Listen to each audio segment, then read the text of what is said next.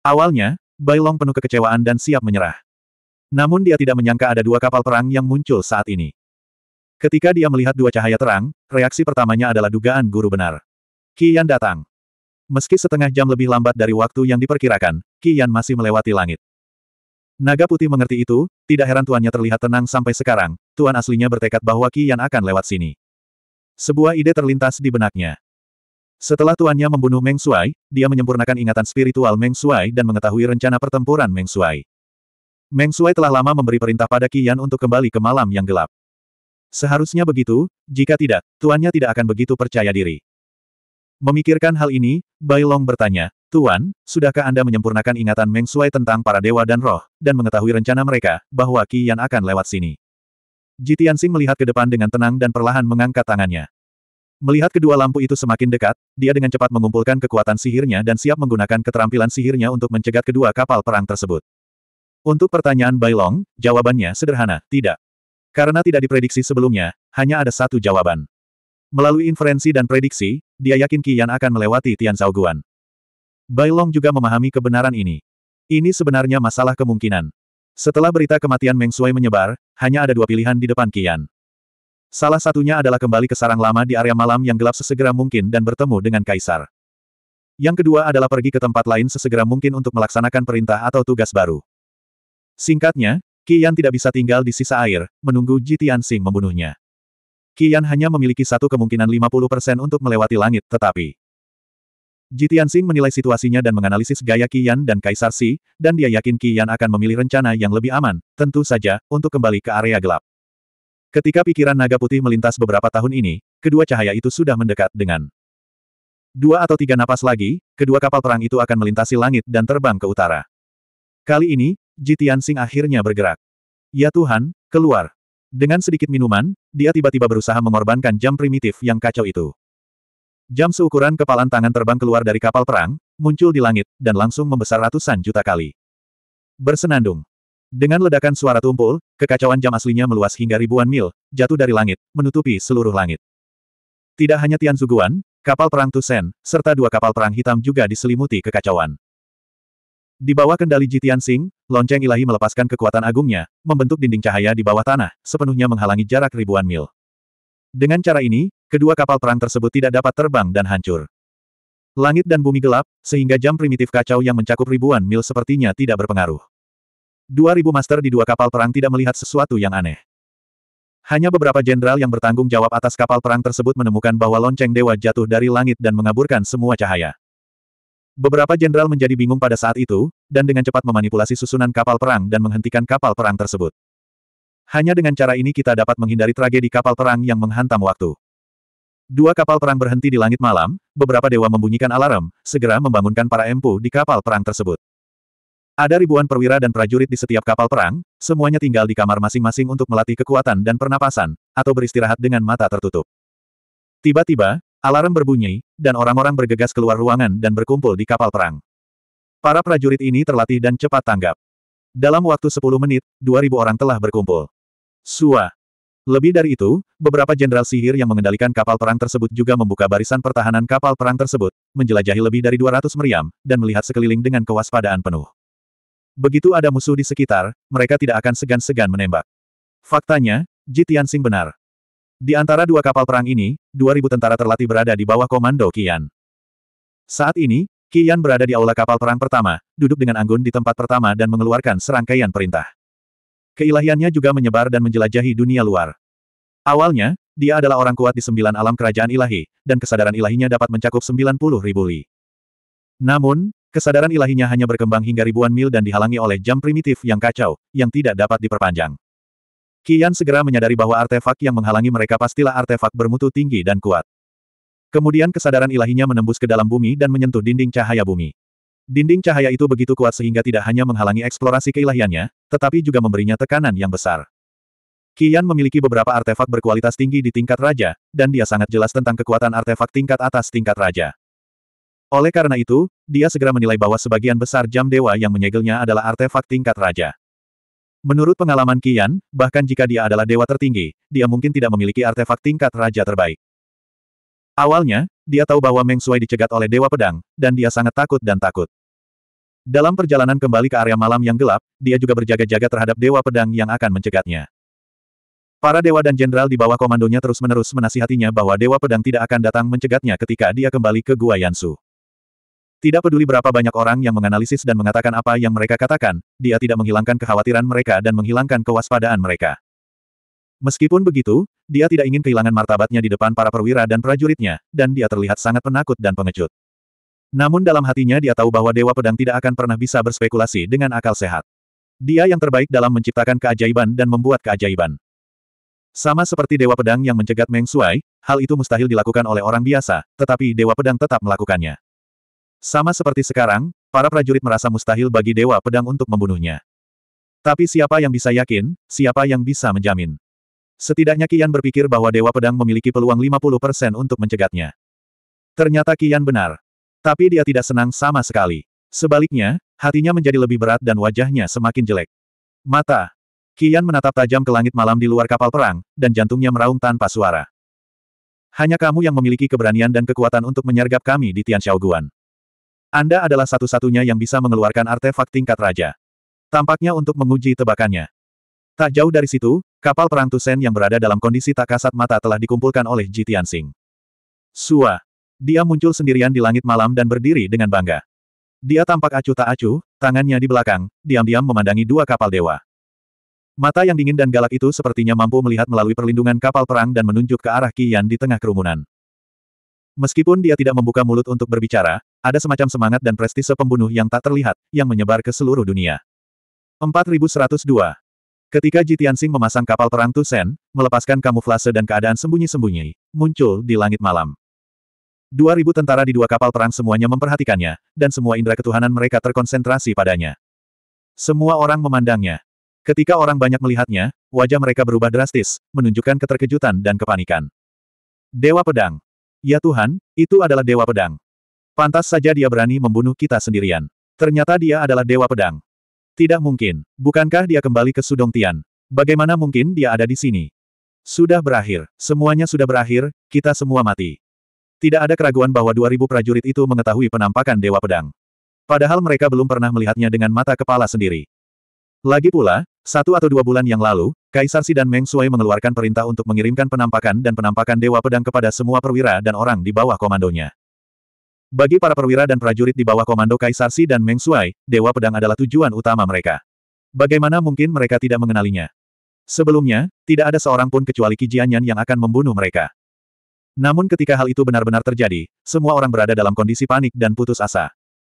Bahkan jika mereka memiliki keunggulan angka absolut, mereka dapat bertarung melawan Dewa Pedang sebanyak 2.000 orang. Sekalipun mereka memiliki 40 dewa dan 2.000 dewa. Menghadapi Dewa Pedang, mereka masih merasa kedinginan dan putus asa. Inilah prestise Dewa Pedang. Pria kuat yang membuat rekan satu timnya percaya, mengandalkan, dan membuat lawannya merasa takut. Bayangkan saja betapa kuatnya Meng Shuai, dan memimpin 2.400 tentara. Ini tidak sama. Aku dibunuh oleh Dewa Pedang. Saya tidak ingin hidup. Dua ribu orang ini tidak bisa dibandingkan dengan anak buah Meng Shuai. Apakah ada ketegangan pada akhirnya? Tentu saja, tidak ada hal seperti itu. Ketika dua ribu tentara diliputi kepanikan dan keputusasaan, semangat mereka juga jatuh ke bawah dan semangat tentara kendur. Jika Kian dan banyak dewa serta jenderal lainnya tidak bertanggung jawab, para jenderal ini akan dikalahkan tanpa berperang. Untungnya, penampilan Kian masih tenang dan kalem. Ketika dia melihat semua perwira dan prajurit pucat, ketakutan dan bingung, dia berkata dengan suara yang dalam dan dingin, apa yang membuatmu bingung? Tidak peduli seberapa kuat Dewa Pedang itu, dia hanya memiliki satu orang. Hanyalah Raja Dewa Puncak, bukan Kaisar Dewa yang tak terkalahkan. Apa buruknya dia?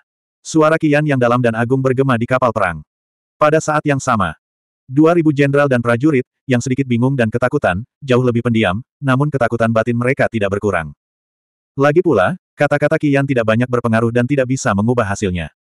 Kemudian, Kian melanjutkan minumannya dengan dingin, aku tahu kamu takut dan takut akan martabat Dewa Pedang. Tapi bisakah itu menyelesaikan masalah? Jika kamu takut padanya, kamu tidak harus mati. Dia telah menyegelnya, seribu mil dengan jam raja. Kita tidak punya jalan keluar, bahkan jika kita di sini, kita tidak bisa melarikan diri. Mendengar ini, dua ribu tentara itu semakin bingung. Ekspresi dan mata banyak orang penuh ketakutan dan keputusasaan, dan tidak ada semangat sama sekali. Jika bukan karena peraturan dan disiplin militer, mereka akan melarikan diri ke segala arah dan melarikan diri demi nyawa mereka. Namun, masyarakat tidak melakukan hal tersebut karena disiplin militer, dan mereka tahu bahwa mereka tidak dapat melarikan diri. Bahkan Kian, Panglima tertinggi, mengakui bahwa dia tidak dapat melarikan diri. Bagaimana mereka bisa bertahan hidup? Untuk rencana hari ini, hanya jika kita tetap hangat dan mendengarkan pengaturan komandan, akan ada sedikit vitalitas yang redup. Melihat para prajurit perlahan-lahan menjadi tenang, Kian sedikit terhibur, dan berkata dengan sepenuh hati, saya yakin Anda semua tahu bahwa kita berada dalam situasi putus asa. Karena kita tidak dapat melarikan diri, kita tidak dapat melarikan diri, dan ketakutan. Tidak bisa menyelesaikan masalah. Maka kita harus bertarung bola balik. Ya, kekuatan kita tidak sebaik Dewa Pedang. Dua ribu tentara hanyalah umpan meriam di depannya. Tapi kita bekerja sama untuk melihat perang ini sebagai kesempatan terakhir dalam hidup kami. Bahkan jika kami mati dalam perang, kami harus mati dengan kemuliaan, kemegahan, dan nilai. Bahkan jika kami mati dalam pertempuran denganmu, kami akan menarik Dewa Pedang untuk melindungi punggung kami. Jika kami semua bisa mati bersama, kita akan menjadi pejabat berjasa terbesar, dan kita akan terkenal selamanya. Kata-kata Kian menyulut api harapan 2000 tentara dan memulihkan mata semua orang yang redup. Mereka semua yakin dengan apa yang dia katakan, dan mereka bertekad untuk mati satu demi satu. Bahkan jika mereka terbunuh dalam pertempuran, mereka harus menggigit sepotong daging Dewa Pedang. Jika mereka bisa mati bersama Dewa Pedang, mereka layak mati. Mereka akan terkenal di seluruh dunia dan memuliakan nenek moyang mereka. Alhasil, para perwira dan prajurit yang tadinya layu dan tak punya semangat menjadi energi kembali. Kalau dicermati, memang tak terkalahkan dan percaya diri. Namun dengan keinginan untuk mati, tekad yang membara dan perasaan yang luhur. Melihat ini, Qi Yan sangat senang dan memerintahkan semua perwira dan prajurit. Selain para prajurit yang tinggal di kapal perang, semua orang mengikuti kursi ini, mengatur susunan pertempuran enam harmoni, mengepung Dewa Pedang, dan mati bersamanya. Para perwira dan orang-orang yang mengendalikan kapal perang harus berusaha sekuat tenaga untuk menemukan setiap kesempatan untuk membombardir Dewa Pedang. Setelah perintah diberikan, dia terbang keluar dari kapal perang dengan 10 penjaga pro. Kemudian, lebih dari 1.900 jenderal dan prajurit terbang keluar dari kapal perang dan mengatur garis pertempuran di langit malam. 80 tentara di kapal perang yang tersisa segera memanipulasi kedua kapal perang tersebut dan menyesuaikan arah mereka untuk menyerang Jitian Sing dari kiri ke kanan. Tapi Jitian Sing tidak akan memberi mereka kesempatan, apalagi membuang banyak waktu, membiarkan mereka mengatur formasi. Tanpa menyapa atau omong kosong yang tidak perlu, dia langsung menyerang. Hujan pedang. Untuk mengambil keputusan dengan cepat, dia melancarkan aksi pembunuhan besar-besaran segera setelah dia muncul. Dia menggunakan sepuluh kekuatan sukses, tangannya menunjuk ke langit, seluruh tubuhnya melepaskan momentum yang tak terlihat. Pada saat ini, seolah-olah langit dan bumi berada dalam kendalinya, dan bahkan ribuan bintang di langit pun dimanipulasi olehnya. Tiba-tiba, ada bintang tak berujung di langit, seperti hujan meteor yang turun. Namun langit malam tertutup oleh jam primordial yang kacau, sehingga tidak ada yang bisa melihatnya. Kian dan para perwira serta anak buahnya hanya melihat Jitian Sing mengangkat tangannya untuk melakukan casting, tetapi mereka tidak tahu alasannya. Tentu saja, mereka tidak memperhatikan detail ini, dan mereka sibuk mengatur garis pertempuran. Setelah dua tarikan napas, sebanyak 90 ribu bintang dan pedang jatuh dari langit, dekat celah Tiansha. Pada saat ini, Jitiansing langsung menyingkirkan jam primitif yang kacau itu, agar tidak menghalangi pedang sepuluh ribu arah. Jam dewa, yang selama ini menekan manusia, telah menghilang. Puluhan ribu mil langit dan bumi ditutupi bintang dan pedang raksasa, memantulkan sepotong salju. Cahaya yang tiba-tiba membuat dua ribu tentara tersebut kesulitan beradaptasi dan ditusuk. Semua orang tertegun sejenak, tanpa sadar menatap ke langit. Saat melihat pedang bintang padat dengan jelas, semua orang menatap dengan ngeri dan meraung ketakutan. 4103 itu sangat disayangkan. Garis pertempuran 2000 jenderal belum diatur. Saat Anda melihat pedang besar di langit, hujan pedang hanya berjarak 100 mil dari mereka. Bahkan jika Jitiansing melepaskan jam asli yang kacau dan membuka segel 2000 jenderal dan tentara, sudah terlambat bagi mereka untuk melarikan diri. Pada saat kritis, hanya Qian, 40 dewa dan beberapa dewa dan raja yang secara tidak sadar mengeluarkan kekuatan sihir mereka dan memadatkan perisai pertahanan. Kemudian, 90 ribu pedang bintang menempuh jarak ribuan mil, menenggelamkan Tian Xiaoguan dan 2 ribu tentara. Bang, bang, bang. Bang, boom. Cahaya pedang memercik ke mana-mana, suara memekakkan telinga terdengar, bergema di langit. Tian Xiaoguan yang menjulang tinggi dan terjal langsung dihancurkan oleh pedang besar itu. Baik itu puncak gunung yang tingginya lebih dari 2000 meter, atau ngarai yang dalam, atau sungai yang mengalir, semuanya telah dihancurkan oleh cahaya pedang. Debu tak berujung beterbangan, ratusan juta keping cahaya ilahi memercik, dan banyak prajurit dan prajurit menangis dan menangis. Hingga saat ini, orang-orang benar-benar menyadari betapa kuatnya Dewa Pedang itu. Setiap pedang bintang, yang panjangnya ribuan kaki, memiliki kekuatan untuk menghancurkan langit dan bumi, yang cukup untuk membunuh Raja Dewa berikutnya dalam hitungan detik. Kekuatan pedang bintang sembilan begitu mengerikan hingga tidak bisa dijelaskan. Di bawah pemboman pedang bintang, para prajurit mencoba yang terbaik untuk memperkuat perisai pertahanan, yang rapuh seperti kertas. Suara teredam dan retak adalah suara pecahnya perisai. Sebagian besar pecahan cahaya ilahi yang memercik ke seluruh langit adalah pecahan setelah perisainya dipatahkan. Dalam waktu singkat, ada ribuan Master Raja Dewa yang hancur berkeping-keping oleh pedang raksasa bintang. Ada juga lebih dari selusin Dewa Malang, yang dibunuh secara acak oleh pedang sampai mati, dan tulang mereka tidak ditemukan. Ada ratusan Master Raja Dewa, yang beruntung bisa memulihkan nyawanya, tetapi mereka terluka parah dan tidak bisa bertarung lagi.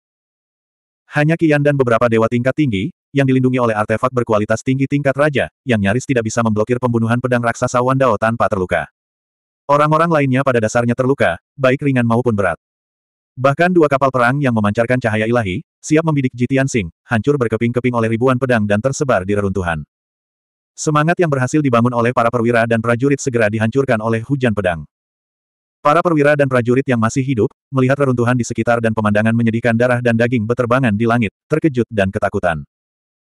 Mereka tidak lagi memiliki rasa perang sedikit pun, tetapi juga mengacak-acak inci persegi, semua berjuang demi hidup mereka untuk melarikan diri ke segala arah. Namun, kekuatan pedang lebih dari satu kali. Setelah mendarat, puluhan ribu pedang bintang patah. Tapi ada juga delapan puluh ribu pedang bintang, terbang di antara langit dan bumi, membentuk jaring pedang besar. Wah, wah. Cahaya pedang bergerak, lingkaran persegi adalah dunia cahaya bintang. Jaring pedang yang mengerikan ini, seperti bola cahaya bintang sejauh ribuan mil, menerangi seratus ribu mil di sekitarnya, seterang bulan.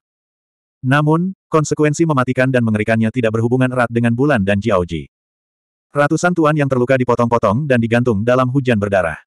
Bahkan banyak dewa tengah tidak tahan dengan pencekikan pedang besar itu. Mereka tidak bisa menahan tiga napas dan dipotong-potong. Setelah sekian lama, kekuatan pedang 80 ribu bintang habis dan berangsur-angsur hilang. Kedamaian antara langit dan bumi, kegelapan di reruntuhan.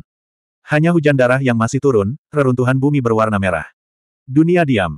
Lebih dari 20 orang yang selamat tercengang. Kian juga tampak konyol.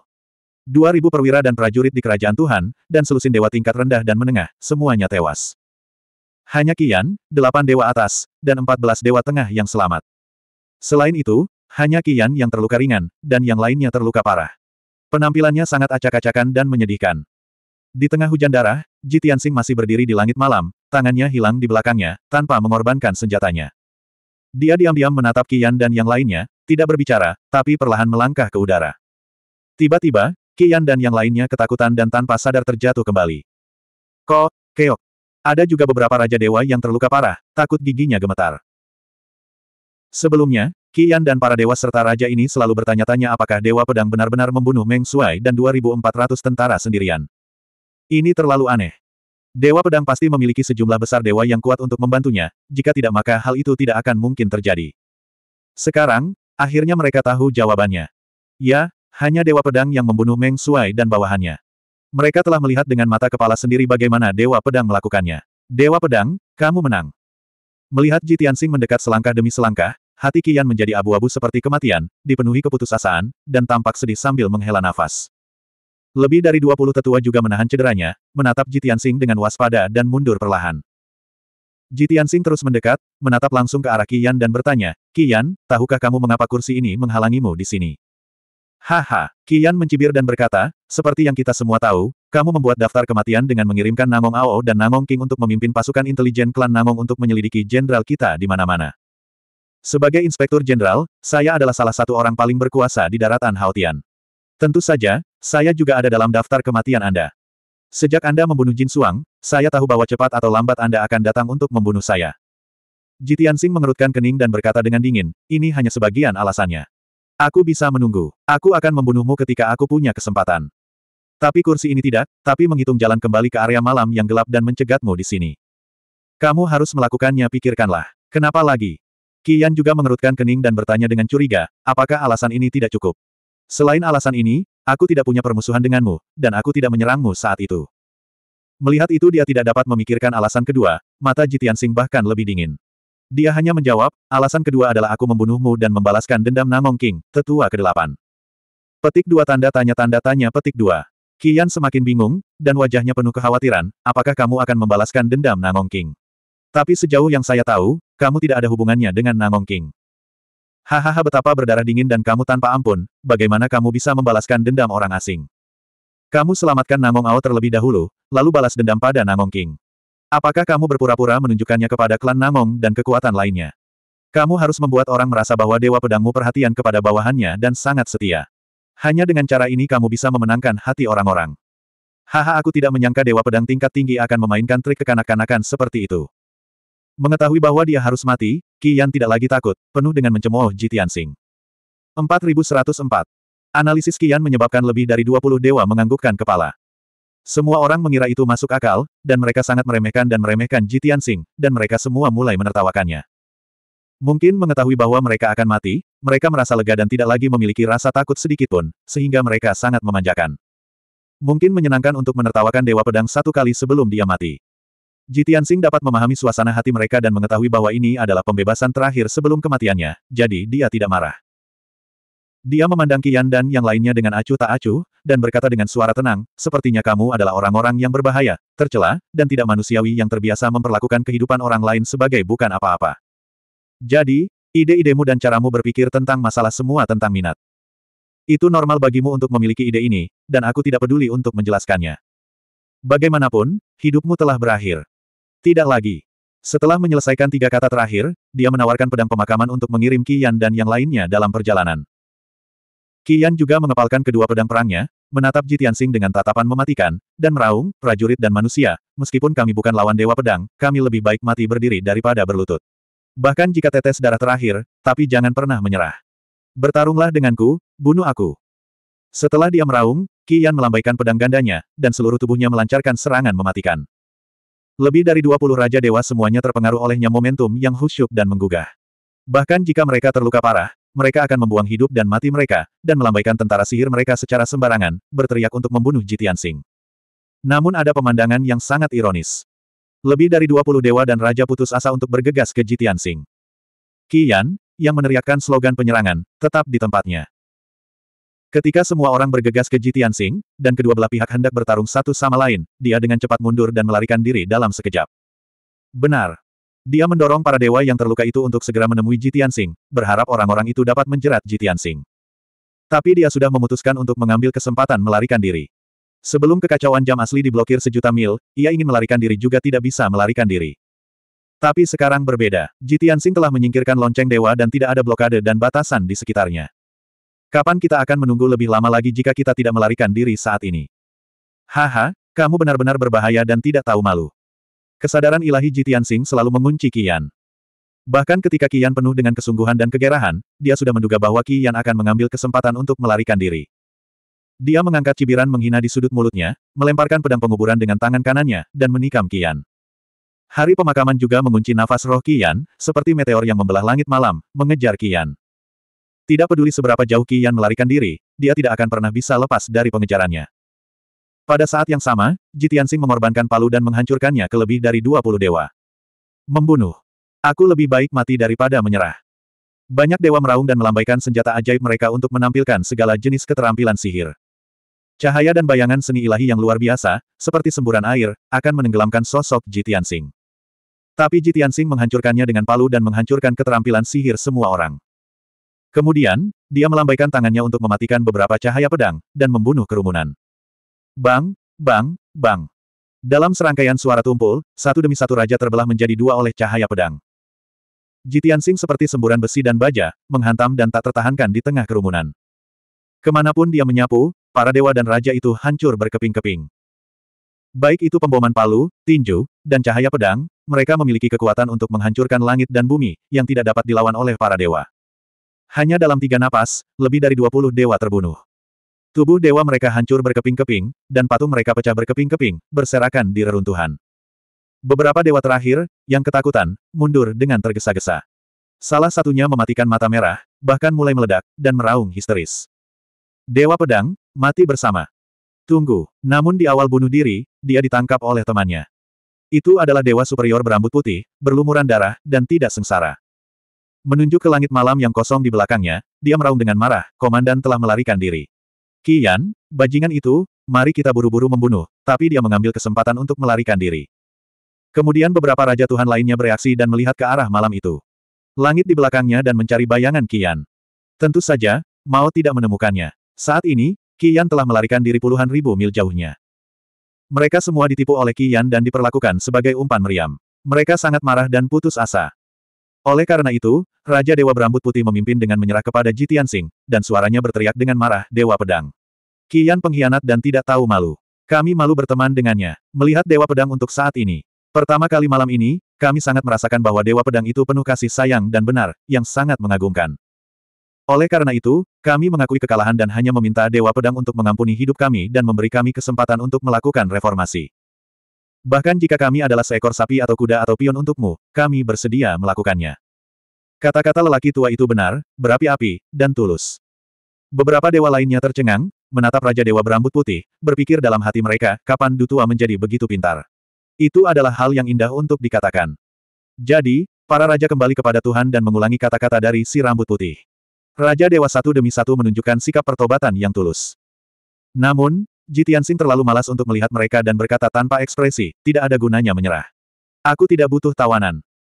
Setelah itu, dia melambaikan tangannya untuk memotong cahaya pedang dan bayangan tinju, dan menghancurkannya dengan palu. Ah, Dewa Pedang, kamu binatang buas. Dewa Pedang, kamu kejam. Raja melarikan diri dengan marah. Tapi semuanya sia-sia. Setelah suara, bang bang bang, yang membosankan, beberapa dewa terbunuh, dan pecahan dewa mereka tersebar di antara surga dan bumi. Jitiansing tidak membuang waktu untuk membersihkan barang rampasan, sosok kilatan menghilang. Saat berikutnya, dia akan bergerak 10.000 mil, angin dan kilat melintasi langit malam, mengejar Kian. Pada saat ini, pedang penguburan mengejar Kian dan terbang keluar dari 200.000 mil. Kian melihat bahwa Jitiansing tidak mengejarnya, hanya pedang ajaib yang mengejarnya. Dia ketakutan dan marah di dalam hatinya. Sialan, bahkan pedang Dewa Pedang begitu memberontak. Bisakah Anda mengambil inisiatif untuk mengejar kursi ini? Dia sangat tidak yakin dan memiliki niat untuk berhenti berperang dan menghancurkan pedang penguburan. Namun dia juga mendengar tentang legenda pedang penguburan dan mengetahui bahwa itu adalah pedang spiritual dan sadar. Yang terpenting, Dewa Pedang dapat menyusulnya. Kapan saja. Jadi dia menyerah dan terus melarikan diri. Namun sayangnya, tidak peduli seberapa cepat dia, dia tidak dapat dibandingkan dengan Jitian Sing. Jitiansing terlihat sangat santai, seperti berjalan-jalan di langit malam. Tapi dengan setiap langkah yang dia ambil, dia bisa bergerak ribuan mil jauhnya. 40 langkah berturut-turut, 400 ribu mil dalam sekejap, dia tidak mengubah wajahnya. Akhirnya, dalam 450 ribu li, dia berhasil menyusul Kian. 4105. Pedang penguburan adalah artefak kehidupan asli Jitiansing. Ada induksi dan hubungan di antara mereka. Selama pedang penguburan mengikuti Kian dari dekat, Jitiansing dapat menemukan arah dan tidak pernah kehilangannya, bahkan jika dia melarikan diri jauh. Setelah Jitiansing menyusul Kian, tanpa mengucapkan sepatah kata pun, dia menikam Kian dengan beberapa lampu pedang dan mengangkat palu untuk memukul Kian. Kian terluka, tapi dia terlalu lelah untuk lari menyelamatkan nyawanya. Kekuatannya sedikit lemah. Melihat beberapa cahaya pedang yang menyilaukan terpotong, dan bayangan palu Dewa Gunung, dia sangat ketakutan sehingga dia hanya bisa berhenti berlari dan melawan dengan seluruh kekuatannya. Dia mengetahui kekuatan dan teror cahaya pedang dan bayangan palu. Tentu saja, dia tidak berani mempertahankan kekuatannya. Dia hanya bisa mengorbankan semua artefak dan benda pelindung, dan mengeluarkan semua potensinya. Sua-sua. Dia memegang pedang di kedua tangannya dan mengayunkan cahaya pedang ke seluruh langit, membentuk dinding. Ada empat artefak lain di sekitarnya, berputar dan terbang, membentuk perisai tebal cahaya ilahi. Seluruh tubuhnya terbakar dengan nyala api warna-warni, bagaimanapun caranya, pakaian dan jubahnya sedang berburu. Saat berikutnya, beberapa cahaya pedang yang inovatif, tanpa ampun membelah Kian. Boom! Dengan dentuman yang mengguncang bumi, dinding cahaya Kian yang dibentuk oleh pedang gandanya dipotong-potong. Kemudian, suara tumpul, bang-bang, meledak satu demi satu. Beberapa artefak di sekitar sisi Kian, diringkas menjadi pertahanan topeng, juga dipotong-potong oleh cahaya pedang. Pada titik ini, pertahanan ganda Kian hancur, dan beberapa lampu pedang Jitian Sing juga runtuh. Namun bayangan palu gunung segera jatuh. Kian tidak lagi mampu melawan. Dia hanya bisa membakar kekuatan suci dan darahnya, yang berubah menjadi api darah, dan mengeluarkan kekuatan terakhirnya untuk melindungi dirinya sendiri. Ini adalah kekuatan magis yang tabu. Setelah digunakan, itu akan kehilangan keterampilan ribuan tahun dan tidak dapat dilawan. Pulih, itu akan menyebabkan kerusakan permanen pada dirimu sendiri. Kian tidak akan pernah menggunakan gerakan ini sampai dia harus melakukannya. Pada saat ini, dia telah menjadi bola api merah besar. Api darah yang bergejolak membungkusnya begitu erat sehingga dia hampir tidak terlihat. Namun sayang sekali hal ini tidak akan menyelamatkan nyawanya. Bayangan. Palu Dewa Gunung menghantam, menenggelamkan sosoknya. Di tempat, dia menghancurkan bola api berdarah itu hingga berkeping-keping, dan mengeluarkan cahaya darah yang tak terhitung jumlahnya. Tubuh Qian juga hancur dan berubah menjadi puing-puing di seluruh langit. Meski tubuhnya hancur, namun jiwanya selamat, namun ia terluka parah dan melarikan diri ke kejauhan. Bahkan jika dia tahu bahwa dia tidak bisa lepas dari kejaran Jitian Sing, dia pasti akan mati. Tapi dia tidak sabar untuk mati, dan dia tidak akan pernah putus asa untuk bertahan hidup. Sua. Kilatan cahaya putih melintas, Jitiansing berkedip di langit malam, dua langkah melintasi 20 ribu mil, dan menyusul keilahian Kian. Dia sekali lagi mengayunkan pedangnya dan mematikan empat lampu pedang, yang menutupi keilahian Kian dan membuatnya tidak punya cara untuk melarikan diri. Kali ini, Kian dikutuk. Bang! Dalam suara yang teredam, keilahian Kian terpotong oleh cahaya pedang dan berubah menjadi lebih dari sepuluh keping, yang melayang ke langit malam. Raja Sembilan Alam yang kuat, Komandan Inspeksi Tanah Hautian, jatuh. Saat cahaya tersebar ke seluruh langit, langit dan bumi kembali gelap. Jitiansing juga mengambil potongan keilahian Qian dan terbang menjauh. Segera, dia kembali ke medan perang sebelumnya dan mulai membersihkan medan perang dan mengumpulkan barang rampasan. Medan perang ribuan mil telah menjadi reruntuhan, dengan lubang dan retakan di mana-mana, dan masih ada darah di udara. Mayat 2000 tentara yang hancur beserta senjatanya, potongan baju besi, dan sisa-sisa dua kapal perang berserakan di reruntuhan. Indra ketuhanan Jitiansing mencakup ribuan mil, dan telah secara akurat mencari hampir 2000 cincin luar angkasa, serta 40 buah gambar dewa raja yang berkuasa. Adapun baju besi dan senjata rakyat, sebagian besar hancur oleh hujan pedang. Setelah membersihkan barang rampasan, Jitiansing kembali melambaikan tangannya untuk mengerahkan kekuatan dahsyat bumi, membalikkan daratan ribuan mil. Boom! Setelah suara yang keras dan tumpul, tanah pulih dan rata, dan bekas pertempuran serta banyak pecahan dan puing terkubur jauh di dalam bumi. Jitiansing mengorbankan kapal perang Tusen dan membiarkan naga putih mengendalikan kapal perang tersebut untuk pergi. Kembali ke kapal perang, Jitiansing tidak pergi bermeditasi. Lagi pula, dia tidak terluka atau menghabiskan terlalu banyak tenaga dalam pertempuran ini, dan kondisinya masih penuh. Lalu gurunya bertanya ke mana kami harus pergi, tapi dia bertanya. Kembali ke Gua Yansu. Ji. Tianxing melambaikan tangannya dan berkata, kamu tidak perlu kembali ke Gua Yansu. Kamu harus terbang ke selatan dulu dan bertanya pada Namong apakah kamu bingung. Naga putih mengiyakan dan terbang ke selatan. Dia tahu bahwa tuannya tidak ingin kembali ke Gua Yansu, yang hanya membuang-buang waktu. Guru ingin bertanya kepada Namong apakah anak-anak dari delapan sekolah telah tiba. Bagaimanapun, waktu setengah bulan akan tiba. Jika kedelapan kekuatan tersedia, Master pasti akan mengambil langkah berikutnya. Tentu saja. Jitiansing mengeluarkan slip giok melingkar dan bertanya pada Namong tentang situasinya dan menjelaskan bahwa dia telah mencegat Kian. Namong terkejut sekaligus kaget dengan strategi dan efisiensi Jitiansing. Kemudian, dia mengirim pesan kembali ke Jitian Sing, mengatakan bahwa semua anak dari delapan kekuatan telah tiba di Ki hari ini. Sesuai ketentuan Jitian Sing, setiap kekuatan akan memindahkan seribu orang, termasuk 20 dewa dan 200 dewa superior. Selain itu, terdapat lebih dari 700 anak yang semuanya adalah dewa menengah dan bawah. Tidak mungkin, hanya kekuatan di atas kerajaan Tuhan yang dapat memenuhi syarat untuk berpartisipasi dalam perang di puncak benua Haotian. Para dewa di surga dan alam dewa bahkan tidak memenuhi syarat untuk menjadi umpan meriam. Bagaimanapun, perang semacam ini bisa disebut pertempuran para dewa. Beberapa kekuatan sesuai dengan ketentuan Jitian Sing, tetapi dua kekuatan sedikit mengejutkannya. Salah satunya adalah keluarga dewa perang, yang beranggotakan 1.200 orang, termasuk 30 raja dewa dan 300 raja dewa superior. Kedua, keluarga Phoenix dari Sen Feng Dongtian bahkan memilih 1.300 anak, termasuk 32 raja dewa dan 350 raja dewa atas. Hal ini tidak diragukan lagi menunjukkan bahwa kedua klan kuno tersebut lebih mempercayai dan mendukung Jitiansing.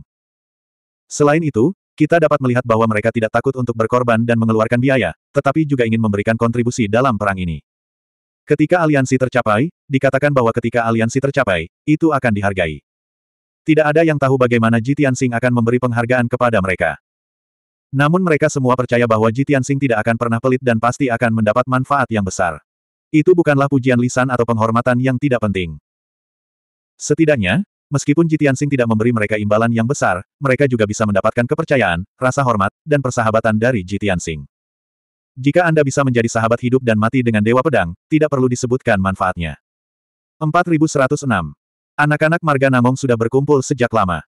Karena anak-anak dari delapan kekuatan telah tiba, tidak ada yang perlu dikatakan. Rencana Jitiansing selanjutnya siap dimulai.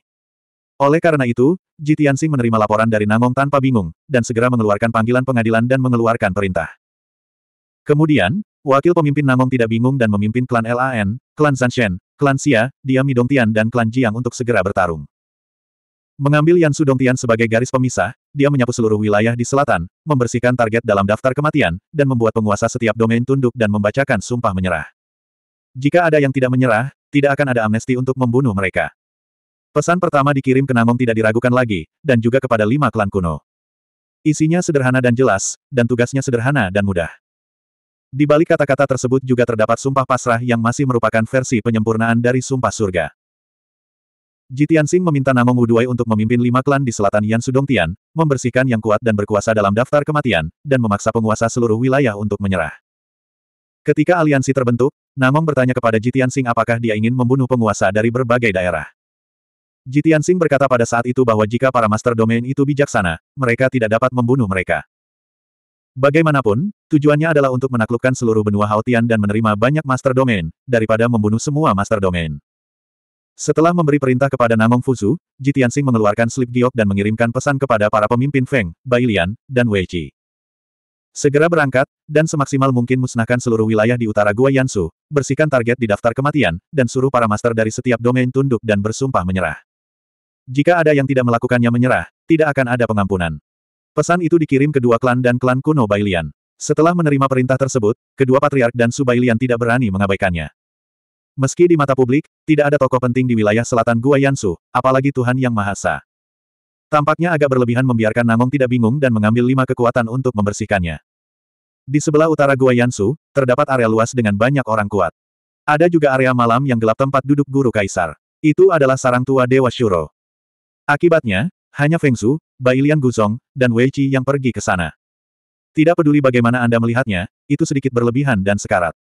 Namun, setelah perintah Jitiansing dikembalikan ke Gua Yansu, semua pasukan dengan senang hati menerima perintah tersebut dan segera mulai bertindak. Tidak ada yang merasa hal itu tidak pantas, dan tidak ada yang akan memprotes keputusan Jitiansing. Pertama-tama, klan Namong dan lima kekuatan memiliki tugas yang mudah, dan mereka tidak akan melawan. Namun, Feng, Bailian, dan Wei Qi merasa tugas tersebut berat dan berat, namun mereka tidak akan protes. Sebab, orang yang memimpin mereka melaksanakan tugas tersebut adalah Jitiansing. Di mata pasukan Namong Fuzu dan Bajia, Jitiansing adalah orang yang sangat kuat yang dapat menjadi sejuta divisi. Selama dia ada di sana, kaisar mana, yang kuat dan superior tidak cukup untuk ditakuti. Setelah diskusi singkat, klan kuno Fengsu, Yuchi, dan Bainian memutuskan untuk menjadikan wilayah King Feng sebagai tujuan pertama. Daerah ini berada di utara Yan Sudongtian, yang terdekat. Sejak Dewa Pedang membentuk aliansi untuk melawan pemberontakan, segala macam berita telah tersebar di seluruh langit, dan seluruh benua Haotian telah membicarakannya secara berurutan, dan para master domain dari semua wilayah berada dalam keadaan kecemasan. Hanya wilayah King Feng yang sangat tenang, tidak ada tindakan radikal, dan tidak ada pergerakan personel dan pasukan. Bahkan sulit untuk menebak apa yang dipikirkan oleh pemimpin distrik King Feng melalui tren King Feng. Apakah dia setia kepada Dewa Shuro, atau dia cenderung pada Dewa Pedang? Tidak ada yang tahu. Oleh karena itu, ketiga kekuatan menganggap wilayah King Feng sebagai tujuan pertama mereka, dan mereka juga ingin membuat awal yang baik. Setidaknya penguasa domain King Feng bukanlah pendukung setia Kaisar Dewa Shuro, dan mungkin tidak ada banyak perlawanan. Ketika 3.000 anak dari klan kuno Feng, Yuchi dan Bailian bergegas ke daerah King Feng, mereka juga mengirim pesan ke Jitiansing dan melaporkan situasinya. Setelah Jitiansing mengetahui berita tersebut, dia langsung mengirim pesan kembali ke pemimpin klan Sen Feng. Enam hari kemudian, aku akan menunggumu di Changshan. Setelah mengirimkan pesan ini, Jitiansing berkata kepada Bailong, percepat ke selatan dan pergi ke wilayah Jiuhe. Tanpa ragu, naga putih itu segera memanipulasi kapal perang Tu Sen dan melesat menuju sasaran. Hanya saja tidak ada yang tahu bahwa Jitiansing akan membuat keputusan seperti itu. Ketiga kekuatan tersebut pergi menyerang wilayah King Feng. Dia membuat janji dengan ketiga kekuatan tersebut dan bertemu di wilayah Changshan enam hari kemudian. Tapi dia membiarkan naga putih mengendalikan kapal perang dan bergegas ke wilayah Jiuhe. Maksudnya itu apa? Itu menunjukkan bahwa dia sudah bisa menebak hasilnya. Penyerahan tiga kekuatan kepada pemimpin domain King Feng tidak akan sulit dan akan diselesaikan dengan lancar. Oleh karena itu, dia harus menyerahkan dirinya kepada penguasa wilayah Jiuhe dan bergegas ke prefektur Changshan sendirian dalam enam hari. Dia menghemat waktu dan bergerak maju bersama dengan tiga kekuatan. Jika kita memberitahu ketiga kekuatan tersebut, kita tidak tahu apa yang akan dipikirkan dan bereaksi. Tiga hari berlalu dalam sekejap. Feng Su, Wei Qi dan Bailian Guzong masing-masing menyiapkan kapal perang dan berlayar ke tengah wilayah King Feng. Ketiga kapal perang ini adalah kelas atas tingkat raja, dan mereka dilengkapi dengan banyak susunan pertahanan dan ofensif, yang merupakan kristalisasi tiga kekuatan yang melelahkan. Sepanjang perjalanan, mereka tidak menemui bahaya dan serangan apa pun, semuanya tenang. Namun ketika mereka memasuki tengah kawasan King Feng dan mendekati gua Master King Feng, mereka memperlambat kecepatan dan menutupi jejak serta nafas mereka. Pada awalnya, Patriark Shen Feng mengusulkan untuk membunuh Kaisar Gua King Feng secara terbuka dan terbuka, untuk menunjukkan prestise aliansi pemberontak. Namun, orang-orang Yuci dan aliran kuno Bailian dengan tegas menentangnya, percaya bahwa hal itu terlalu tidak aman untuk dilakukan. Jika disergap dan diserang terlebih dahulu oleh pemimpin King Feng, itu akan memalukan bagi kami. Ini adalah tindakan pertama mereka. Mereka lebih memilih tidak mempesona daripada memalukan. Oleh karena itu, ketiga kapal perang tersebut memilih menyembunyikan nafas dan tidak menonjolkan diri. Akhirnya, pada sore hari itu, tiga kapal perang tiba di luar gua tuannya. Setelah mengamati beberapa saat, mereka memutuskan bahwa kekuatan pertahanan gua tersebut tidak kuat, sehingga mereka memilih untuk menyerang. Setelah pertempuran, lebih dari 30 orang tewas dan lebih dari 60 orang luka-luka. Hampir 100 penjaga yang tersisa, mencakup lebih dari 60 orang yang terluka, mundur ke dalam gua. Orang-orang kuat dari tiga kekuatan muncul satu demi satu, menerobos barisan pertahanan gua dan membunuh mereka dengan momentum yang besar. Apa yang tidak mereka duga adalah bahwa mereka tidak menemui perlawanan besar-besaran setelah mereka bergegas ke dalam gua dengan bendera dan niat mereka. Mereka dengan mudah membunuh inti gua dan mengepung kediaman tuannya. Tidak ada jalan. Penguasa satu domain hanyalah Raja Dewa Tujuh Alam yang unggul, dan kekuatannya sangat terbatas. Bahkan jika penguasa wilayah King Feng melawan dengan sekuat tenaga, dia tidak dapat memblokir serangan kuat dari tiga kekuatan. 4107. Ketiga kekuatan tersebut mengira bahwa pemimpin wilayah King Feng akan melakukan perlawanan secara simbolis. Setidaknya, dia harus memimpin para prajurit untuk menyerang beberapa kali dan mengorbankan beberapa prajurit untuk menunjukkan kesetiaannya kepada Dewa Kaisar Shuro. Kemudian, daerah King Feng memilih untuk menyerah dengan alasan musuh begitu kuat sehingga saya tidak bisa membiarkan tentara mati sia-sia. Dengan cara ini, kita tidak hanya dapat menghindari banyak korban jiwa, menjaga kekuatan wilayah King Feng, tetapi juga memenangkan reputasi dalam merawat para perwira dan orang-orang di bawah komandonya. Mengapa tidak? Apa yang tidak diharapkan oleh ketiga kekuatan itu adalah Ketika mereka sampai di kediaman tuannya, Istana Emas membuka pintunya. Ratusan penjaga lapis baja dengan pedang ditempatkan di luar mansion, tetapi mereka tetap menjaga postur yang bermartabat dan tidak menghunus pedang untuk menghadapi musuh. Ketika gerbang istana dibuka, dua penjaga heral keluar dari aula dan mendatangi tiga pasukan. Setelah memberi hormat dengan hormat, kedua penjaga pemanggil mengatakan bahwa penguasa wilayah mengundang para pemimpin dari tiga kekuatan untuk masuk untuk berbicara. Pemandangan seperti itu membuat tiga kekuatan utama tercengang, dan ada yang tidak bisa dijelaskan. Mereka saling memandang dan berpikir, bagaimana situasinya. Kami di sini untuk menyerang Tuan King Feng. Dia tidak melawan dan membuka pintu untuk menyambut kami. Ketiga orang itu mengira itu tidak normal dan curiga bahwa Tuan dari King Feng curang. Akibatnya, ketiganya ragu-ragu untuk tidak masuk. Sampai dua penjaga pemanggil mendesak, ketiganya mengatakan mereka akan membawa beberapa tetua masuk. Tanpa diduga, kedua pemanggil berkata dengan sungguh-sungguh dan sungguh-sungguh bahwa penguasa domain telah memberitahunya bahwa hanya tiga pejabat utama yang diizinkan masuk. Hal ini membuat tiga orang utama berselisih, mereka semua berpikir bahwa langkah Master Domain King Feng itu menipu. Mungkin Master Distrik King Feng telah mengatur beberapa jebakan di aula, menunggu mereka melemparkan diri ke dalam jaring. Pada akhirnya, dua penjaga pemanggil tidak dapat melihatnya lagi, jadi mereka mengatakan sesuatu yang ironis kepada tiga pejabat utama. Shen Feng, Wei Qi, dan Su Bailian tidak dapat menahan wajah mereka dan marah di dalam hati. Tetapi jika dipikir-pikir, mereka mewakili aliansi pemberontak, dan di belakangnya ada Dewa Pedang. Dengan cara ini, jika pemimpin wilayah King Feng berakal sehat, dia harus menyerah. Mengenai tidak mengizinkan orang lain masuk, saya khawatir wajah saya akan terluka. Oleh karena itu, ketiga pejabat utama tersebut mengesampingkan postur mencubit mereka, memasang postur percaya diri dan bermartabat, dan berjalan menuju aula secara berdampingan. Tentu saja dalam menghadapi pertunjukan sangat percaya diri dan bermartabat, bahkan ketiganya dalam keadaan siaga penuh. Jika terjadi keadaan darurat atau kelainan, mereka akan keluar dari aula sesegera mungkin. Tiga ribu anak yang tinggal di luar istana akan segera menyerang dan meratakan seluruh area hingga rata dengan tanah. Dalam keadaan seperti itu, ketiga pemimpin tersebut tidak dapat memikirkan alasan apa pun mengapa pemimpin wilayah King Feng tidak menyerah. Kecuali jika penguasa King Feng adalah Kaisar Shuro yang setia, dia lebih memilih mati bersama orang lain daripada menderita penghinaan dan penyerahan diri. Namun, menurut penyelidikan dan petunjuk mereka, pemimpin King Feng jelas bukan orang seperti itu. Sesaat kemudian, ketiga pemimpin itu memasuki aula dan bertemu dengan penguasa King Feng. Di aula yang megah dan terang benderang, hanya ada penguasa King Feng dan beberapa pengawal. Suasana di aula sangat dingin dan sunyi. Setelah kedua belah pihak bertemu, mereka memberi hormat dan bertukar sapa. Sastrawan Parubaya yang mengenakan Master Domain Angin sepoi-sepoi, tampak lembut dan anggun. Usai bertemu dengan publik, ia pun mengungkapkan rasa hormat dan hormatnya kepada Dewa Pedang. Mendengar ini, hati ketiga pemimpin itu kembali terpuruk. Setidaknya, penguasa King Feng telah menunjukkan sikapnya, dan dia sedikit dekat dengan Dewa Pedang dan aliansi pemberontak. Kemudian, Guru King Feng meminta ketiga pemimpin itu duduk untuk minum teh, dan kedua belah pihak dapat membicarakan sesuatu secara perlahan. Dengan rasa percaya diri, ketiga pemimpin tersebut tampak cukup percaya diri dan bermartabat. Bagaimanapun, mereka mewakili wajah aliansi pemberontak dan Dewa Pedang. Mereka tidak boleh terlalu lemah, dan mereka harus kuat. Pemimpin klan Shen Feng berkata bahwa niatnya sangat sederhana, semua orang tahu bahwa pemimpin domain King Feng tidak perlu berpura-pura bingung. Sedangkan untuk duduk untuk minum teh, tidak perlu.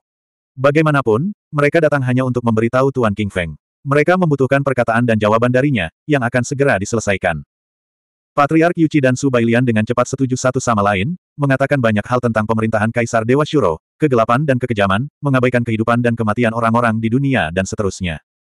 Dewa Pedang adalah cahaya di malam hari, harapan dalam keputusasaan. Hanya ketika Dewa Pedang menghargai dunia dan memikirkan kelangsungan hidup ratusan juta orang, dan bersedia melakukan penyelamatan nyawa sebagai tugasnya, barulah dia dapat membangun aliansi melawan pemberontakan. Klan dan kekuatan kuno ini secara alami tidak tinggal diam, dan tergerak oleh pikiran besar Dewa Pedang sebelum mereka bergabung dengan aliansi pemberontak. Terakhir, mereka menunjukkan tema dan menjelaskan tujuannya. Saya berharap penguasa wilayah King Feng memahami kebenaran dan menganggap nyawa rakyat jelata sebagai hal yang paling penting. Dia tidak akan keras kepala dan membantu Kaisar Shuro memperbudak rakyat dan menciptakan ketidakadilan. Selama hari ini, penguasa domain King Feng mengetahui jalan pulang, dan bersedia kembali ke Dewa Pedang dan kembali ke jalan yang benar, orang-orang akan bergembira untuknya, dan rakyat jelata juga akan berterima kasih atas jasa-jasanya. Sebenarnya arti dari ketiga master tersebut sangat sederhana, yaitu mereka berharap pemimpin wilayah King Feng akan menyerah kepada aliansi pemberontak dan tidak bermusuhan dengan Dewa Pedang. Hanya saja apa yang mereka katakan lebih halus, khususnya tentang caranya, dan terdengar seperti orang berdarah panas, adil dan murah hati. Penguasa wilayah King Feng telah mengambil keputusan. Sebelumnya, dia bermaksud menenangkan ketiga pemimpin tersebut, kemudian bertindak sesuai rencana dan niatnya, serta membahas penyerahan diri selangkah demi selangkah. Namun, ketiga pemimpin itu sangat tidak sabar sehingga dia tidak bisa dengan mudah menolak untuk langsung ke pokok permasalahan. Di satu sisi, ia mengatakan dirinya juga peduli terhadap rakyat jelata dan tidak ingin melihat penderitaan seluruh rakyat di dunia. Di sisi lain, dia adalah penguasa suatu domain. Bagaimana dia bisa begitu berbahaya? Singkatnya, penguasa wilayah King Feng menunjukkan bahwa dia ingin patuh, tetapi dia tidak ingin mengkhianati Kaisar Dewa Shuro dengan mudah. Ketiga pemimpin tersebut dengan jelas memahami bahwa pemimpin distrik King Feng telah memutuskan untuk menyerah, tetapi dia belum menegosiasikan persyaratan tersebut dan gagal memenuhi ekspektasi psikologisnya. Melihat situasi tersebut, ketiga pemimpin tersebut tidak berbasa-basi dengannya, langsung menjelaskan kelebihan dan kekurangannya. Jika pemimpin wilayah King Feng menyerah, dia tidak perlu mengambil tindakan nyata apa pun, tetapi hanya perlu mengambil sumpah penyerahan. Setelah Dewa Pedang berhasil mengambil alih tanah Haotian, dia akan tetap menjadi penguasa wilayah King Feng, dan tidak akan ada perubahan. Namun jika dia menolak menyerah, tidak akan ada diskusi. Aliansi itu pasti akan membunuhnya dan memilih yang kuat lainnya untuk mengambil alih King Feng. Bagaimanapun, tidak ada kekurangan raja para dewa dan talenta yang kuat yang dapat memimpin suatu wilayah. Sikap ketiga pemimpin itu sangat keras. Pemimpin klan Weiqi mengeluarkan kapal perang ilahi dan slip giok dan memberikannya kepada Tuan dari King Feng untuk membuat pilihan. Entah perang atau menyerah. Tuan King Feng, yang telah merenung, menimbang dan ragu-ragu, juga sangat cerdas. Dia dengan cepat mengambil alih slip giok dan mulai mengambil sumpah menyerah. 4108 Penguasa distrik King Feng sangat pintar, tetapi itu membuat ketiga tuan itu sedikit bingung. Mereka saling memandang dan berpikir sedikit, lalu mereka memahami pikiran penguasa King Feng. Jelas sekali, pemimpin wilayah King Feng tahu bahwa dia akan diserang oleh aliansi pemberontak.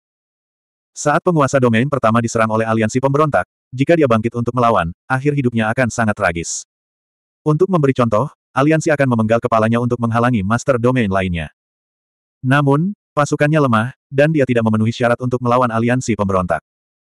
Divisi Kaisar sekarang tidak dapat melindungi dirinya sendiri, dan tidak mungkin mengirim orang dan pasukan yang kuat untuk memperkuatnya. Dalam hal ini, jika dia tidak ingin mati, dia harus menyerah kepada Dewa Pedang. Namun penyerahan langsung tanpa tulang punggung tidak hanya tidak mendapat manfaat, tetapi juga diejek oleh masyarakat Li. Oleh karena itu, penguasa wilayah King Feng mengambil sikap ramah dan ingin duduk bersama Dewa Pedang untuk bernegosiasi. Siapa tahu Dewa Pedang tidak datang, hanya tiga kekuatan yang datang. Terlebih lagi, ketiga pemimpin tersebut mewakili Dewa Pedang dan aliansi pemberontak, dan sikap mereka sangat keras. Ketika penguasa King Feng gagal, dia tidak bisa melawan aliansi, jadi dia harus mencubit hidungnya dan mengakui kekalahan. Sekalipun adegan mengaku kalah tidak terlalu gemilang, dan kemudian menyebar hingga merusak gengsinya, dia juga mengabaikannya. Lagi pula, tidak banyak orang di aula, dan tidak banyak orang yang mengetahuinya. Namun setelah dia benar-benar mulai mengucapkan sumpah menyerah, dia tidak bisa lagi tenang dan anggun. Hampir seribu kata sumpah menyerah pada dasarnya adalah bersumpah ke surga, mengucapkan berbagai sumpah, dan membatasi serta mengikat diri sendiri. Secara umum berarti menyerah kepada aliansi pemberontak, tunduk kepada Dewa Pedang, dan tidak pernah bersikap ambivalen, tidak pernah memberontak, dan mengambil kehendak Dewa Pedang sebagai perintah tertinggi. Jika Anda memiliki pikiran yang berbeda, Anda akan dihukum oleh surga jika Anda mengkhianati Dewa Pedang atau dengan sengaja merusak kepentingan aliansi. Semakin banyak dia membaca, semakin takut dia, semakin dia merasa putus asa dan menyesal. Jika dia tahu bahwa dia ingin mengambil sumpah menyerah yang begitu keras, dia seharusnya mengambil risiko dan memperdebatkan semua keuntungan dan ketentuan dari aliansi pemberontak. Sekarang lebih baik, sumpah penyerahannya sudah dibacakan setengah jalan. Sangat sulit untuk melepaskan diri dari harimau. Jika sekarang Anda membatalkan sumpah menyerah, apalagi melanggar ketentuan sumpah yang pertama, Anda akan dihukum oleh Tuhan. Bahkan jika dia nyaris lolos dari kutukan surga, para pemimpin dari tiga kekuatan tidak akan pernah setuju. Aku akan terjatuh. Dialah yang pada akhirnya akan menderita. Pemikiran ini, Master Domain Angin di dalam hati sedikit enggan, juga menghilang. Dia dengan jujur menyelesaikan sumpah penyerahannya, seluruh tubuhnya bersinar, dan ada bekas sajak di kepalanya. Di kedalaman langit di atas istana, ada kilatan petir di seluruh langit, dan ada semburan guntur. Jelas sekali, surga telah merasakan sumpahnya. Penglihatan langit dan bumi yang demikian membuktikan bahwa sumpah surga ditegakkan. Mulai sekarang, penguasa King Feng secara resmi berada di bawah Dewa Pedang. Dia tidak boleh tidak patuh. Jika Anda ingin berperang melawan surga, Anda tidak perlu menghukum Tuhan. Meski hingga saat ini, banyak orang kuat yang dipaksa oleh Jitiansing untuk mengambil sumpah surga, namun belum ada yang dihukum oleh surga. Namun Jitiansing tidak menganggap sumpah surga itu tidak sah. Mereka yang telah mengucapkan sumpah surga tidak akan pernah berani menggunakan nyawanya sendiri untuk menguji keaslian sumpah tersebut. Dengan cara yang sama, ketika penguasa King Feng melihat cahaya seluruh tubuhnya dan sajak di kepalanya serta mendengar guntur di langit, hatinya juga sangat ketakutan. Dia dapat dengan jelas merasakan bahwa Tian Wei yang perkasa dan mengerikan tidak berani mengalami kebetulan di dalam hatinya. Setelah penglihatan langit dan bumi berakhir, dia mengembalikan slip giok itu kepada kepala klan Sen Feng. Kepala klan Sen Feng mengambil slip giok dan memberinya hormat. Dia berkata, disebut bahwa mereka yang mengetahui keadaan saat ini adalah pahlawan. Tuan Li King Feng akan senang atas pilihan bijaknya hari ini. Sekarang setelah saya selesai, saya akan pergi. Ketiga pemimpin itu tidak akan pernah melupakan Jitiansing memberi mereka waktu enam hari untuk bertemu di Changshan. Sekarang setengah dari waktu yang disepakati telah berlalu. Mereka tidak dapat menunda lagi. Mereka harus tiba di Changshan sesegera mungkin. Tuan dari King Feng mengerutkan kening dengan curiga dan bertanya, Tuan-tuan, Don bukankah Dewa Pedang punya instruksi dan perintah? Dia berpikir dalam hati bahwa dia berada di bawah komando aliansi pemberontak. Bagaimana bisa Dewa Pedang memberinya nasihat atau mengatur beberapa tugas untuknya? Tanpa diduga, ketiga pemimpin itu mengguncang hati mereka. Kepala pada saat yang sama. Kepala Wei Qi menjelaskan, penguasa distrik King Feng, Anda hanya perlu menjaga ketertiban distrik King Feng dan mencegah rakyat jelata menderita akibat perang dan kekacauan. Jika ada sesuatu yang perlu diselesaikan, pemimpin akan mengeluarkan perintah lain. Tuan Domain King Feng mengangguk dengan jelas, dan dia merasa lega. Faktanya, suasana hatinya agak rumit. Dia berharap Dewa Pedang akan memberinya nasihat, yang setidaknya menunjukkan bahwa Dewa Pedang memperhatikannya dan memiliki harapan padanya. Namun dia takut Dewa Pedang akan memerintahkannya untuk memanggil prajurit terbaik dan bergabung dengan tim untuk bertarung bersama. Dalam hal ini, dia juga akan menjalani hidup dan mati untuk bertarung dengan tentara di bawah komando Kaisar Sura, yang sangat berbahaya. Untungnya, Dewa Pedang tidak memberikan instruksi. Instruksi tersebut menyuruhnya untuk menunggu pesanan, yang tentu saja merupakan hasil terbaik. Jangan khawatir jika kalian tidak bisa mengikuti kalian bertiga. Dia tidak mengucapkan paruh kedua kalimatnya, tapi artinya jelas bagi semua orang. Jika dipublikasikan akan merusak citra dan reputasinya. Ketiga patriark dan patriark kembali menatapnya, semuanya menunjukkan senyuman lucu. Su Bailian terkekeh, penguasa King Feng akan merahasiakannya, dan kami tidak akan mempublikasikannya di mana-mana. Namun, kami datang dari banyak orang, dan beritanya tidak dapat ditutup-tutupi sepanjang waktu. Itu akan tetap menyebar. Tidak masalah. Orang-orang di seluruh dunia tahu bahwa hasil tidak menjadi masalah, selama mereka tidak mengetahui proses spesifiknya. Tentu saja tidak, jawab Su Bailian. Kepala klan Sen Feng juga berkata dengan nada tegas, kami tidak akan menyebarkannya secara alami. Anda harus menjaga beberapa pengawal di bawah komando Anda dengan baik. Para pengawal yang tinggal di aula dan menyaksikan seluruh proses adalah orang kepercayaan mutlak dari penguasa domain King Feng, jadi mereka akan tutup mulut. Oleh karena itu, wajah dan reputasi penguasa King Feng tidak boleh terlalu rusak. Sudan King Feng, dua penguasa istana, meninggalkan istana. Tak lama kemudian, lebih dari 3.000 perwira dan prajurit dari tiga pasukan meninggalkan Yusufu dan berangkat ke wilayah Changshan dengan tiga kapal perang dewa. Dibutuhkan dua setengah hari untuk pergi dari King Feng ke tengah Changshan. Saat mereka menemukan gua penguasa Changshan, diperkirakan batas waktu tiga hari baru saja tiba. Oleh karena itu, ketiga kapal perang tersebut ditembakkan sepenuhnya, dan mereka melaju secepat mungkin tanpa penundaan. 4109. Ketika ketiga kekuatan meninggalkan rumah utama wilayah King Feng. Kapal perang Tusen di bawah kendali naga putih baru saja memasuki wilayah Jiuhe. Mustahil, Jitiansing berada sangat jauh dari sini ketika dia mencegat Yan di utara. Diperlukan setidaknya tujuh atau delapan hari agar beberapa kekuatan aliansi melawan pemberontakan dapat bangkit kembali. Kapal perang Tusen dapat tiba di Jiuheyu dalam tiga hari, dan kecepatannya lebih cepat daripada yang bisa dilakukan orang lain. Pada saat yang sama, berita bahwa Qian, komandan utusan inspeksi, dan 2000 tentara di bawah komandonya dicegat oleh Dewa Pedang juga menyebar di tanah Haotian. Setelah berita itu tersebar, menimbulkan sensasi besar di negeri Haotian. Berbagai kekuatan, orang-orang kuat yang tak terhitung jumlahnya, dan jutaan rakyat jelata sedang berdiskusi dengan hangat. Mereka semua terkejut dan terpesona oleh kecepatan dan kekuatan Dewa Pedang. Pada saat yang sama, rakyat jelatali lebih diunggulkan dan lebih percaya diri dalam aliansi. Semua orang menantikan saat Dewa Pedang dapat menyingkirkan Tuan Kaisar, dan Haotian akan dapat memulihkan perdamaian. Tentu saja, sebelum Dewa Pedang mencegat Meng Shuai, sekarang ketika orang-orang mendengar bahwa Qi Yan dicegat, mereka tidak lagi meragukan keaslian berita tersebut. Kejutan yang ditimbulkan oleh berita ini juga semakin melemah. Di mata semua orang, Qian hanyalah Raja Sembilan Alam. Bahkan Meng Shuai, Raja Dewa Puncak, dibunuh oleh Dewa Pedang. Kematian Qian juga wajar. Alasan mengapa orang membicarakan masalah ini bukanlah untuk memuji kekuatan Dewa Pedang.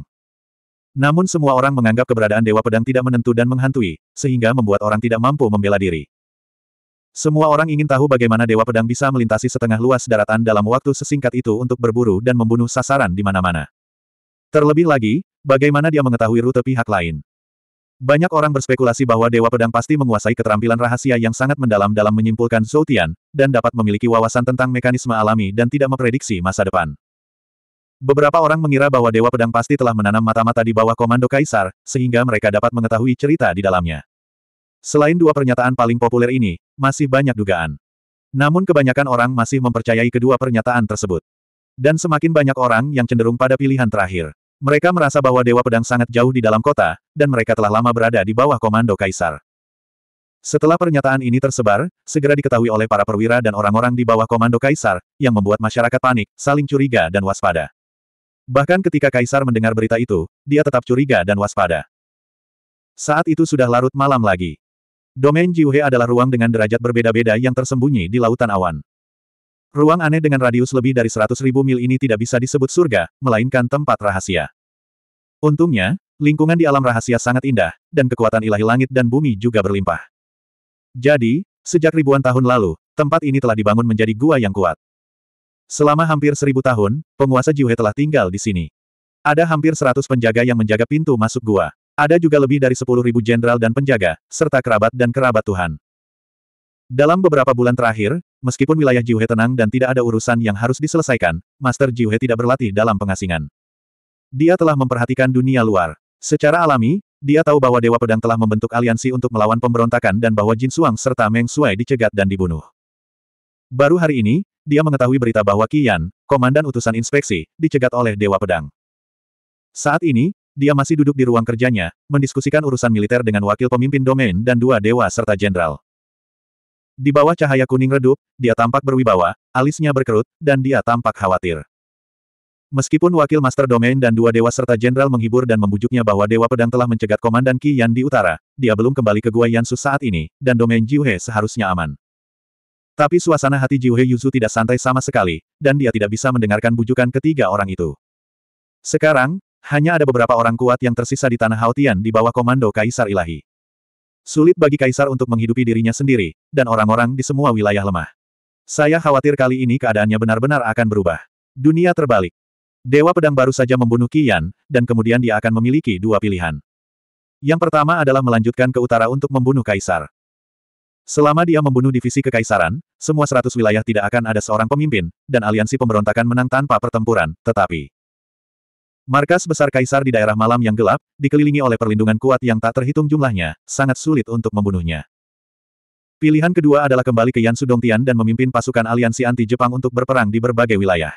Setelah mendengar ini, Wakil Master Domain dan kedua dewa berkata dengan satu suara, Dewa Pedang akan memilih rencana kedua demi keselamatan.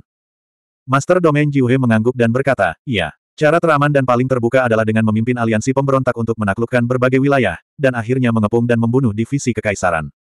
Jadi kita tidak punya banyak waktu. Kita harus membuat pilihan sesegera mungkin. Wakil kepala domain mengerutkan kening dan berkata, kami melaporkan hal ini kepada Kaisar 10 hari yang lalu dan meminta bala bantuan. Namun, Jenderal di bawah komando Kaisar menjawab kami, mengatakan bahwa semua daerah mencari bantuan, dan tidak ada kekuatan untuk mendukung kami. Jika pasukan aliansi pemberontak terbunuh, kita tidak akan bisa melawannya dengan kekuatan kita sendiri. Penguasa. Jiuhe mengangguk sedikit dan berkata dengan wajah bermartabat, lebih dari itu, saya telah menerima pesan rahasia hari ini. Beberapa kekuatan aliansi anti-Jepang meninggalkan Yan Sudongtian beberapa hari yang lalu dan berangkat dengan dua cara. Apa? Bukankah Dewa Pedang sudah kembali ke Gua Yansu? Bagaimana mereka memulainya sejak dini? Kedua jenderal itu terkejut dan wajah mereka berubah drastis. Penguasa. Jiuhe mencibir, dengan prestise Dewa Pedang, apakah kamu masih perlu kembali ke Gua Yansu untuk memberi perintah secara langsung? Dia mengirimkan panggilan langsung dan mengumumkan perintah. Siapa yang tidak berani mematuhinya? Wakil. Tuhan dan kedua dewa terdiam, dan hati mereka menjadi berat.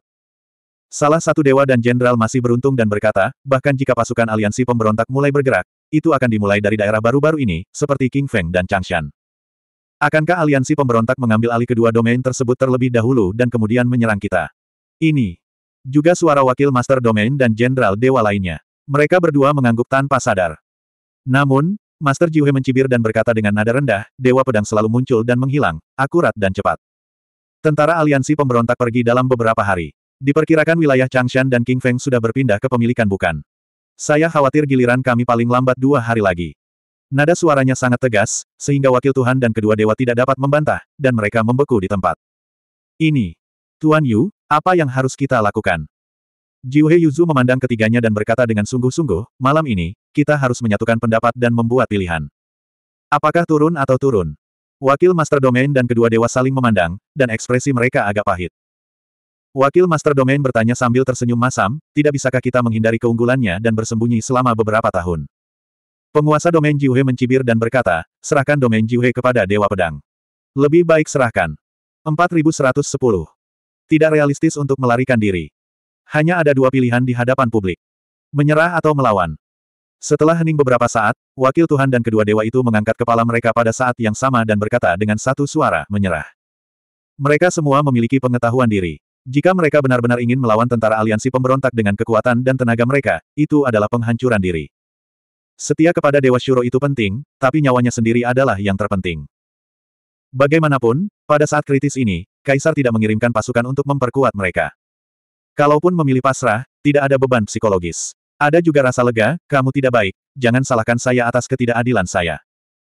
Melihat wakil penguasa dan kedua dewa membuat pilihan, penguasa Jiuhe berhenti kusut dan mengangguk, dalam hal ini, menyerahlah. Kalah dari aliansi pemberontak, serahkan diri kepada Dewa Pedang, jangan kehilangan muka. Bukan hanya kita, tapi tidak ada seorang pun di seluruh benua Haotian yang menjadi lawan Dewa Pedang. Bahkan jika Kaisar melawan Dewa Pedang, tidak ada peluang untuk menang. Jadi wajar bagi kita untuk menyerah, bukan? Mungkin untuk takut dipermalukan, Master Jiuhe menjelaskan banyak hal dan minta diri. Wakil Master Domain dan kedua dewa mengangguk setuju. Semula mereka masih sedikit malu, takut kabar tersebut akan diejek masyarakat. Setelah mendengar kata-kata Tuan Jiuhe, mereka merasa nyaman.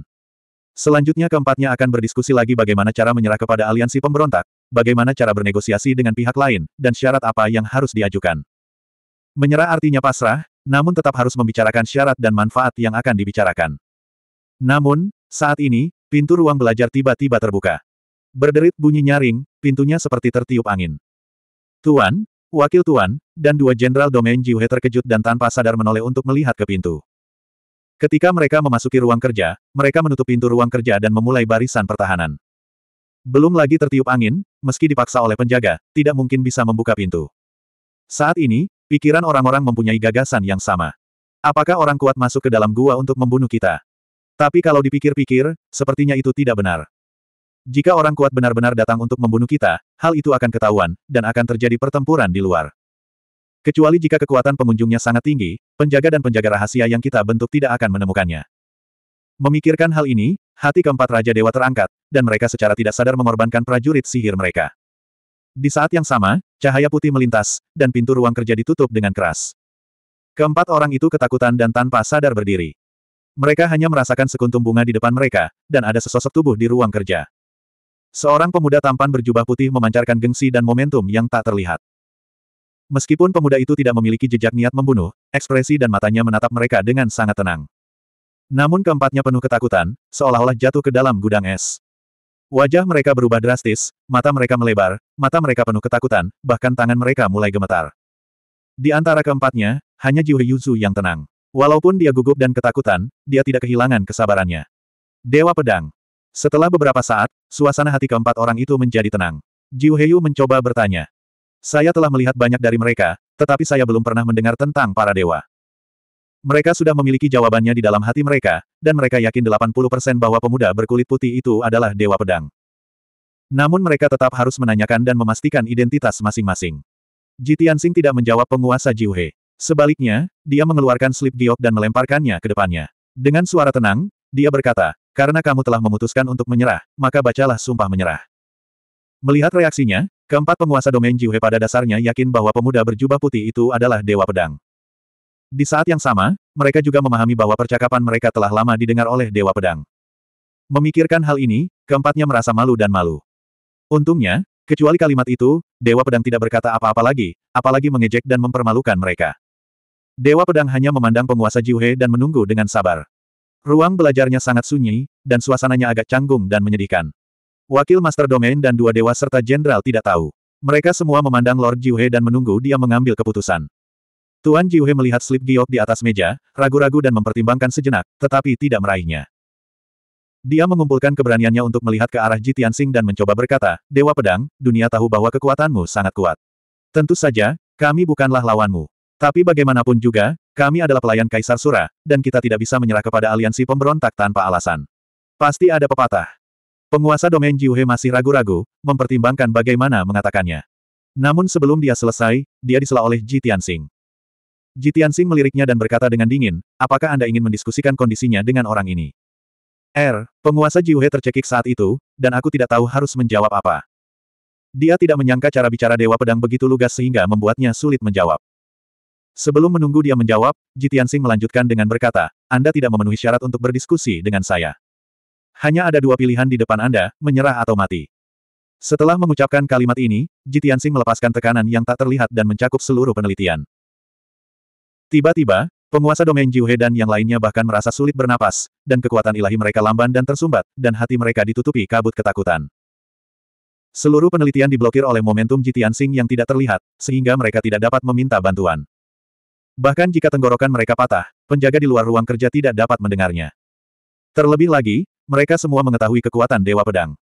Jika mereka memanggil membantu dengan cara apa pun, saya khawatir Dewa Pedang akan membunuh mereka dengan cepat tanpa menunggu penjaga menyelamatkan mereka. Oleh karena itu, keempat orang itu dengan sangat bijak memilih untuk tutup mulut dan melepaskan gagasan untuk meminta bantuan. Lagi pula, mereka adalah yang paling kuat. Tidak realistis mengharapkan penjaga dari dua atau tiga ribu dewa menyelamatkan mereka. Dalam situasi saat ini, Dewa Pedang telah memakan mereka. Selain itu, mereka tidak meragukan tekad dan cara Dewa Pedang. Orang kuat seperti Lian Jinsuang, Qian dan Meng Shuai terbunuh saat Dewa Pedang memerintahkan untuk membunuh mereka. Jika orang kecil seperti mereka benar-benar mengganggu Dewa Pedang, itu semudah menghancurkan beberapa semut. Memikirkan hal ini, Wakil Master Domain dan dua dewa serta jenderal sedikit terburu-buru. Mereka semua memandang Lord Jiuhe dan memberi isyarat dengan mata mereka bahwa dia tidak boleh ragu atau mati. Menyerah pada Dewa Pedang. Halo, halo semuanya. Aku sangat ingin membuat Dewa Pedang marah. Jika aku membunuh sebagian dari kita, aku akan mati tertahan. Jiuhe Yuzu melihat makna di mata mereka, dan hatinya penuh kesedihan dan keputusasaan. Tak berdaya, dia memaksakan waktu istirahat kurang dari sepuluh, dia membungkuk kepada Jitiansing. Dewa pedang tenanglah, aku mengaku kalah dan menyerah padamu.